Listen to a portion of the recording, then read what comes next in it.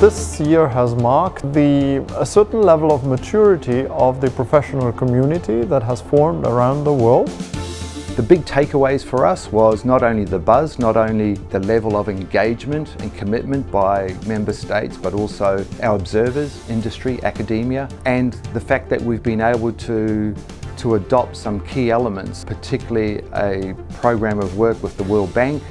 on an integrated geospatial information framework. Whilst we are discussing good practices and norms and recommendations here at the global level,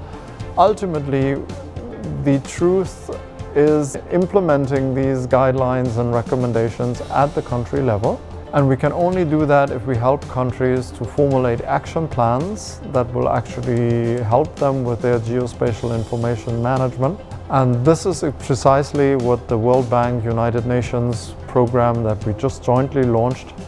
and where we have now created an integrated geospatial information framework where this helps countries to formulate their individual action plans, which they then can start implementing either out of their own domestic resources or with the help of the international community.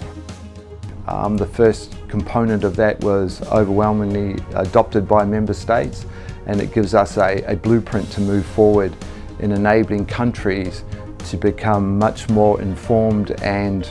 and armed with geospatial information in the years ahead.